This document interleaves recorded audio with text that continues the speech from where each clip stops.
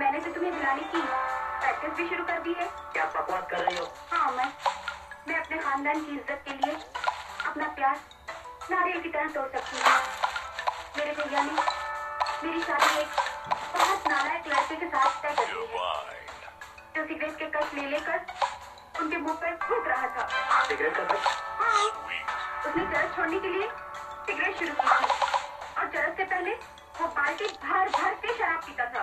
ये कहानी तो सुनी नहीं लगती है। ज़रूर सुनी होगी। वो तो आगे चली जाता था। परसों मुजरे में गुजार दिए उनकी कंपनी का दिवाला निकल गया और इनकम टैक्स रेट मारकर सब कुछ ले गई अच्छा की बच्ची ये कहानी तुमने कहा सुनी? मेरे भैया ने सुनाई। तुम्हारे भाई का नाम क्या है? श्यामलाल। अरे वो जाने तेरा भाई है। अरे तो। मेरे तो मेरी माँ रुकने वाली नहीं है।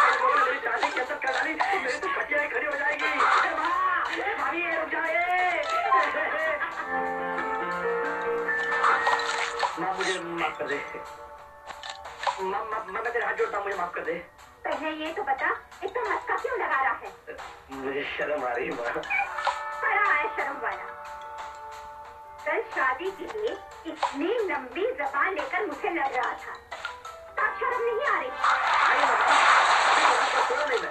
कितनी गाने से मैंने अपने आप को मालूम है मैंने कहा कि अबे नालायक अमर अरे जिस माँ के पैरों के नीचे स्वर्ग होता है उस माँ से दवा लगाता सारी रात ज़मीन पर नाक रगड़ता देखो मेरी नाक भी छिल गई है माँ ए माँ मुझे तेरा फैसला मंजूर है कौन सा फैसला अब आपको वही शादी वाला मेरा फैसला मेरा बेटा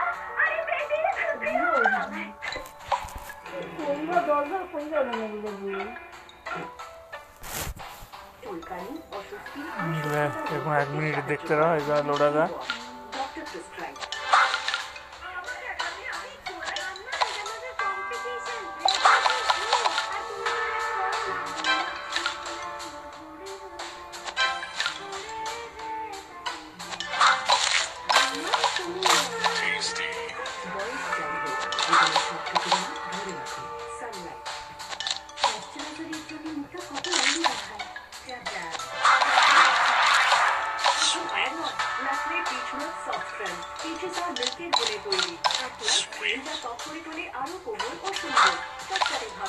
তাহলে এখন থেকে শুধু আরও কোমল ও সুন্দর ত্বক লাট্রে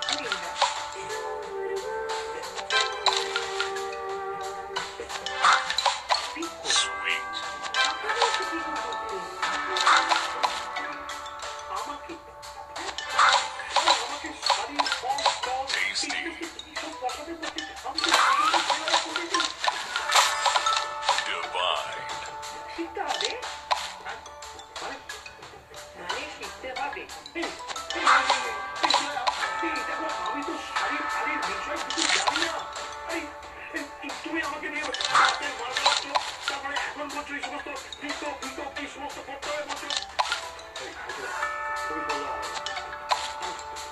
না না না না আমি আমি কেন করবো আমি পাবো না কেন কেন কেন আমি পাবো আরে বলো বলবো মালিনী কে কে কে কে মালিনী